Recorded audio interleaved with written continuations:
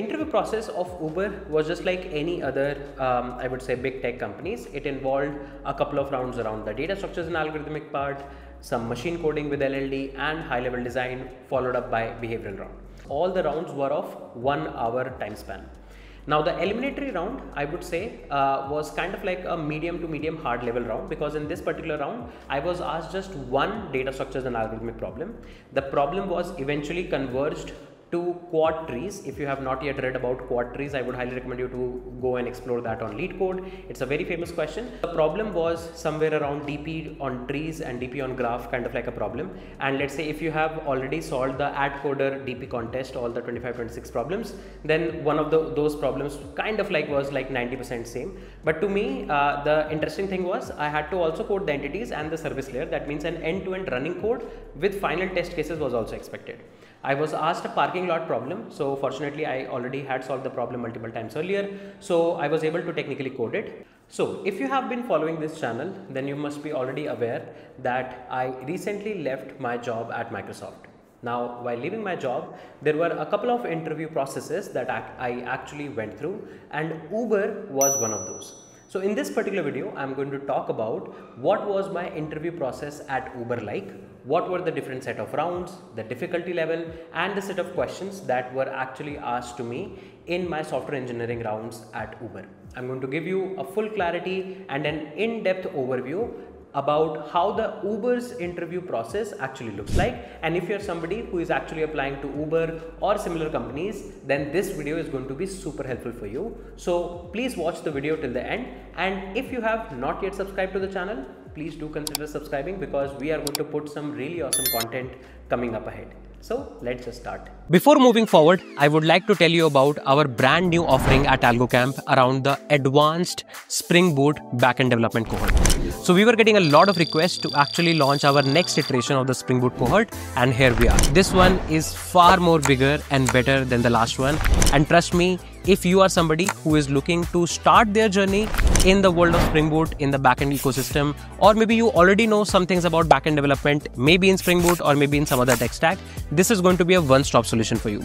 We are going to talk about everything from the absolute beginner level to the advanced level in Spring Boot. We are going to talk about how exactly you can set up your backend ecosystem and backend projects in Spring Boot. We are going to take a microservice driven architecture and build different different projects, including an Uber app including Airbnb app, payment wallet like Paytm wallet app, and many more. We are going to talk about how exactly microservices can actually communicate with each other in synchronous and asynchronous fashion. We are going to see a lot of interesting microservices pattern like CQRS pattern, Saga pattern for distributed transaction, how you can implement Saga pattern through orchestration and choreography, how Saga pattern is going to help you with respect to the implementation if you compare that with two-phase commit, how you can implement each one of them, what is the outbox pattern, how exactly event sourcing is going to work, how you can integrate Kafka for your event sourcing and whatnot. We are going to see so many interesting database concepts like how exactly NoSQLs are internally implemented using LSM trees, what are write ahead logs, how you can replicate your databases, how you can shard your databases, how you can design a good database schema and whatnot. All the topics that we are going to cover must be listed in front of you on the screen here. What I can say is that this course is going to be one-stop solution to become an advanced backend engineer in Spring Boot. This is definitely going to demand some good time commitment from all the students who are interested, but trust me, this is going to be one hell of a ride. So what are you waiting for? Do check out the link in the description section below and read the complete end-to-end syllabus of what we are going to cover in the Spring Boot cohort. You can actually use the coupon Spring 2025 to get maximum possible discount on the course and I'm really excited to see you guys in the cohort. Right? Do check out the link description section below and let's get back to the video. So, like the interview process of Uber was just like any other, um, I would say, big tech companies. It involved a couple of rounds around the data structures and algorithmic part, some machine coding with LLD, and high level design, followed up by behavioral round. So, first of all, I got a call from the HR where they actually explained me the complete process. In this, they actually mentioned that there is going to be one eliminatory round and that is going to be a problem solving round. If I'm able to clear that, then I will be a part of a full loop. Full loop means that I have to give all the remaining rounds to uh, one after another and after all of those are done, then there will be a cumulative decision taken, uh, will be taken on my profile. So that's how the whole process was actually like and once we are able to clear the process then the team matching and all will technically happen. So this was the complete overview of the interview process.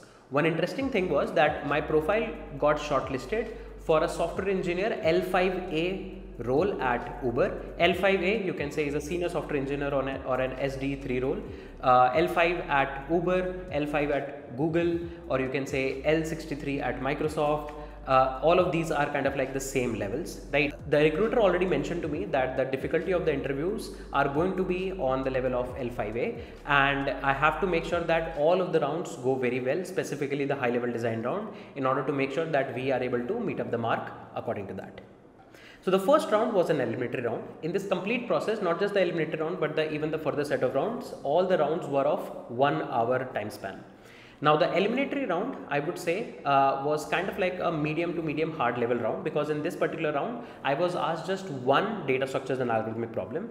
The problem was eventually converged to quad trees. If you have not yet read about quad trees, I would highly recommend you to go and explore that on LeetCode. It's a very famous question. Uh, although if you have not, um, I would say coded quad trees once on your own, then it can be a, I would say difficult affair to do in one hour. So I was already aware about quad trees and the problem actually converged to coding a quad and then solving that. This was a one hour interview and I was fortunate enough that I was only asked one question, although the question was kind of like medium to medium hard. So it's expected that maybe if you are able to code the complete solution end to end, you will be able to technically go through. And that happened to my profile as well. I was able to code the solution, explain the time complexity and do the in-depth dry run as well. And this round was, um, I would say actually cleared. I got a call from the recruiter the next day that we can start the full interview loop altogether. Now after the eliminated round, the first round that actually happened was again a data structures and algorithmic round. In this round also it was a one hour round and I was asked only one data structures and algorithmic problem. This time the problem I believe was slightly easier. It might be opinionated because the problem or I would say the, those types of problems I had already solved.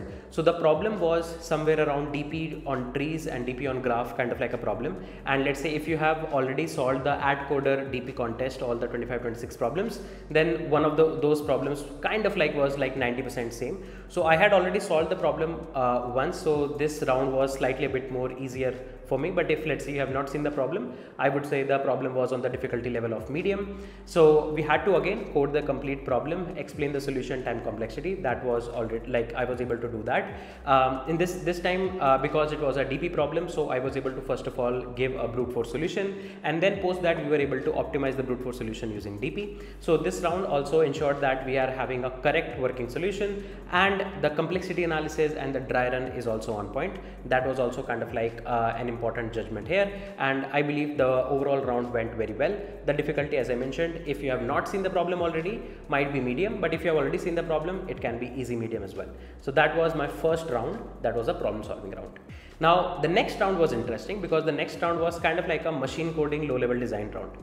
In this round, um, because it was for most probably because it was for an L5A role, I was expected to do a machine coding problem solving with the expectation that I will do an end to end running code. So a lot of friends of mine actually interviewed at Uber for L4 role that is SD2 role and a lot of them actually mentioned to me that in most of their rounds they were only expected to code the entities that means the class and all the relationship between the classes but to me uh, the interesting thing was i had to also code the entities and the service layer that means an end-to-end -end running code with final test cases was also expected I was asked a parking lot problem. So fortunately, I already had solved the problem multiple times earlier. So I was able to technically code it. I by mistake missed one of the use cases like for example the parking lot was expected to have uh, two wheelers four wheelers and evs as well. I am not sure how but i by mistake was not able to read ev part that there will be one more category ev but the overall solution that i coded was very extendable. So the interviewer interviewer was very happy that even if you have to introduce newer type of vehicles and newer type of spaces it was very easy to do that on that particular space also because it was a one hour round so i had to be very fast. So to ensure that i don't lose the pace the interviewer said that i can just like use all the methods and the data members as public i don't need to do getter setters because it is going to take a lot of time and also uh, during the very end of the like when we were about to like um, complete the round uh, because it was very less time So there were a couple of design patterns that I felt like could have been also added. So instead of like directly coding, I just mentioned those design patterns as comments that we can definitely even more uh, like modify this code even more better. So I'll talk about this complete LLD round and experience in a separate video, but this was the overall round. I believe the feedback was, uh, I would say strong positive in this one as well because I was able to give a final working solution which was running fine on most of the test cases. Now the high level design round was an interesting round. Um, I was actually uh, paired with a very uh, senior principal engineer level uh, at uh, Uber and um, so this round was pretty much interesting because I was expecting a very hard problem which will be having a very high scaling constraints but to my surprise the problem that was given to me was having um, I would say the overall scale was not that much it was more like a employee badging system. So with the problem statement already you must be able to understand that the scale of the system was not expected much. Instead what what was expected that um, I am able to give a final end-to-end -end working solution and during the round a lot of SQL queries was also expected out of me based on my design. So I chose because of this fact that the scale was not much and I wanted to keep the design simple because that's what engineering should be about. It should be simple unless required uh, to make it complex. So I kept the overall design simple kept some really simple DB decisions. So uh, we had a good discussion on DB design and a lot of SQL queries, not running SQL queries, but just on the whiteboard. It was expected that I was I am able to write the SQL queries or not. I believe that there were a couple of things that I missed here. Uh, like in the during writing the SQL queries, I assumed a few things that I should have not assumed, and uh, then there were clarification questions that were asked later. I felt that uh, if I could have been more, I would say explicitly, uh, or I would have explained those already uh, and mentioned those already, then those follow-up questions would, would not have been there because those definitely created some confusion for like five seven minutes. I believe that was the time when the uh, round was not going in my favor, but then I actually caught like was able to really catch up well and give a end-to-end working solution with all the functionals and the non-functional requirement being followed. Uh, the interviewer uh, looked uh, pretty much, um, I would say, satisfied. But later, definitely, I got the feedback that um, it was not a 5 on 5 round uh, expectation because for L5A, Uber's expectations are very, very high. You cannot like lose even a single point, I believe. So they said that it is definitely uh, a good hire call from their end, but I could have done better, and this might lead to some discussions later. But I was okay that let's see let's see what the final result will actually come out.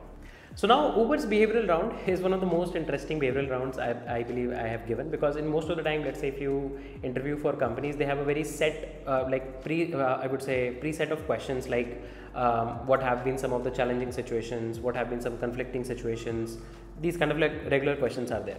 But interestingly, to my surprise, my interviewer actually asked me a very different type of a question they actually asked me a question which was more like a PM or a business development kind of like a question. They mentioned that let's say I have a very big farmland I, and I want to let's say set up a dairy business or let's say something like that there. How I will go about on this particular problem. So this was kind of like a surprise to me. But overall, I uh, kept my thoughts open and like followed all the basic engineering principles because I thought the overall hiring is for software engineering. So I should actually showcase that how I'm able to think as an engineer altogether for the problem. I proposed a good solution, I believe, uh, and the interviewer also looked pretty much uh, satisfied. They asked me just a basic set of questions apart from this that, okay, uh, what kind of work I have previously done, what are, what are the tech stacks that I have previously worked on, and what projects I have actually led. These were the set of questions that was actually asked to me on my behavioral round and that was it. Those were the set of rounds that i actually gave. Uh, so after a lot of discussion uh, and these rounds uh, my recruiter actually mentioned that they will be actually going for the final review. During the final review again as i mentioned the hld round was the one that actually came up as kind of like 4 out of 5 because of which they actually said that they are okay to hire, hire me as a high l4 instead of l5a I would say a high L4 is an L4. So technically this was a down leveling uh, uh, from Uber's point, but I was also okay with that because I knew that uh, they already mentioned in HLD round is it's one of the most important round. My recruiter already mentioned to me that I cannot go sideways like even for a single point in HLD, and because that happened, that uh, confusion on the SQL queries actually happened. Uh, I believe that was one of the foremost reasons. But again, uh, detailed feedback must be with them. So they were okay to um, offer me uh, software engineering to L4 position. They mentioned that the compensation and all will be according to a high L4, uh, and that was all about this particular round. And post this round, uh, they will be actually starting the team matching process. So I hope the overall procedure of Uber's interview process is making sense to all of you. I'll be making a detailed video around the low level design and a separate detailed video on the high level design aspect. What were the problems that were asked to me, how I actually approached the problem and how did I prepare. So keep an eye on the channel uh, for those set of videos and do subscribe to the channel if you don't want to miss the video and do hit the bell icon so that you get all the notifications possible. That being said, let's wrap this particular video here and we're going to meet soon in the next set of videos. Till then take care guys. Bye bye. I'm Sanket Singh signing off.